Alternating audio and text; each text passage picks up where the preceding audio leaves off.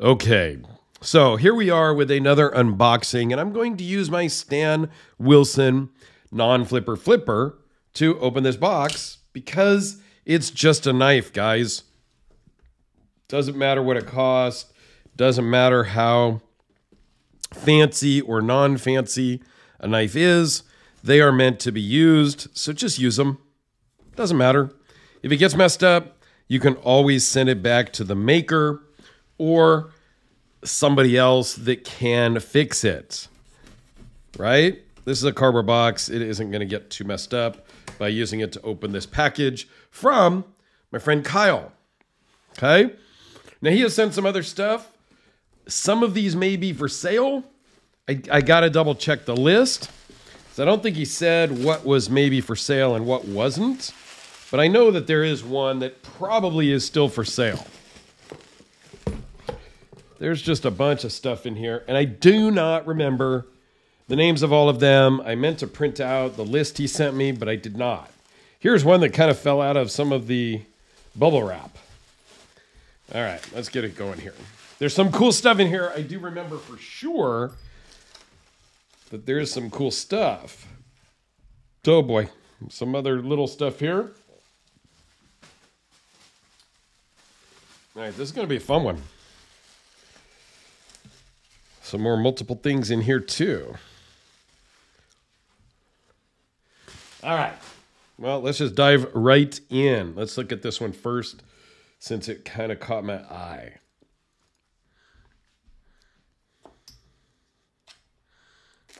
Oh, say uh, Foltz I have seen some of these before. I have not seen one with the Damascus blade. Three finger knife really kind of grips in there with the lanyard. It actually works really well because your pinky can grab that lanyard. Uh, not a huge neck knife person, but you could wear this as a neck knife. Kind of cool. Kind of fun. All right. These I don't know. I'm going to have to look at the list and probably ask him what this is. It is a really, really small slip joint. But really cool. Oh, this one is small. Mother Pearl. I'm not sure if that's Mokume it looks like it, but it doesn't look like it. So I'm going to have to get some details on some of these for sure, which is okay. It's normal. This is just a quick peek of some upcoming things. It's what the unboxings are. This one is shaped kind of oddly as well, so let's just dive right into that one. Ooh. Another Foltz. Eh, so this one, okay, I never talk bad about knives necessarily, but this is really not my style. This is a really, really upswept Persian style, um, Aladdin of the lamp sort of knife that doesn't appeal to me. Like, that's just not my thing. And I didn't mention it really on this one, but that is a little more upswept than I normally kind of prefer in a knife, that's purely aesthetics. You may love that, and that's okay. A lot of people don't like the, um, a lot of people really hate the look of the Hellraiser. And that's okay. I love it. You don't have to. Okay? All right. What do we got here? I can pretty much guarantee you it's not a Civivi. It is not a Civivi. Um, yeah, like I said, I don't remember what these are called. And this one is a bolstered lock, a bolster activated automatic. That's what I was trying to say there.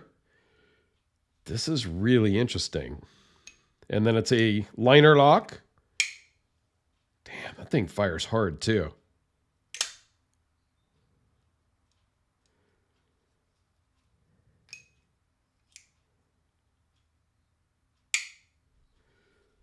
Very cool, very interesting. We'll have to get some details on that. Like all of these. Well, not all of them. A couple of them I might know about. Like this one, maybe I know about. This is a TJ Fischer launch. I have a TJ Fischer lash, which is the smaller version of this, down under this table that is for sale. That's why I think some of these might be for sale. So I'm going to have to find out. And and if so, I will try to put a description, kind of a comments in the description if I find out from him right away. I really like TJ Fischer stuff. This is this is a nice one. The lash is really kind of small for me, but the launch, this version, works well. Okay. Moving on.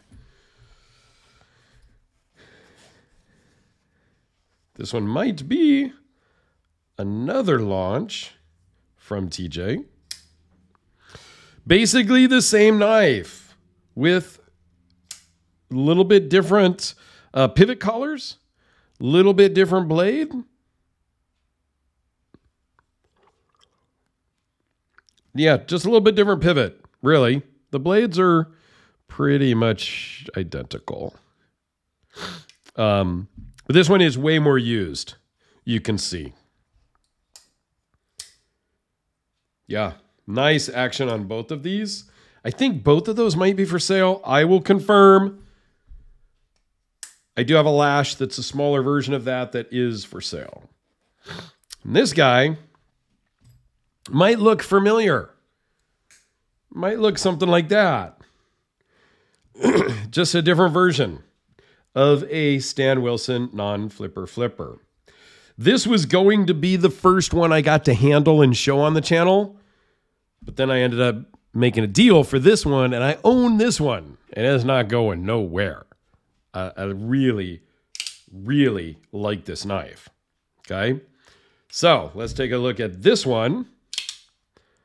Oh, good God. The action on it is so different.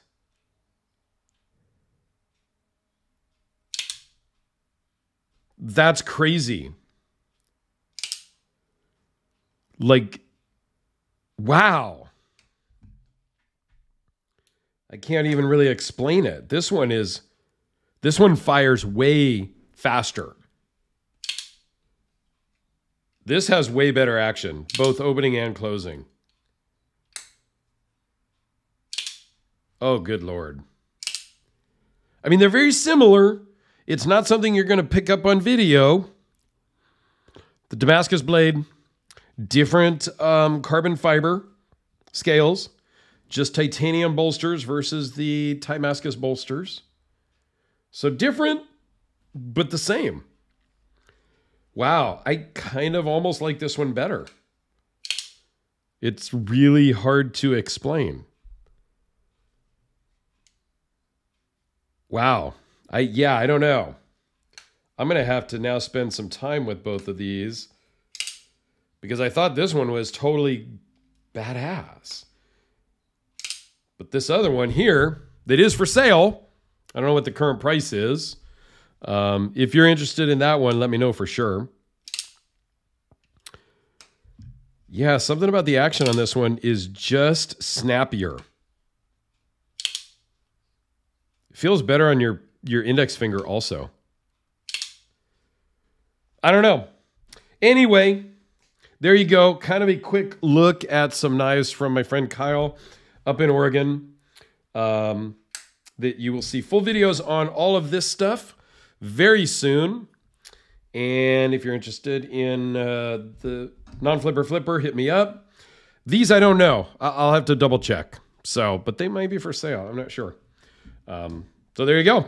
Thanks for watching, everyone.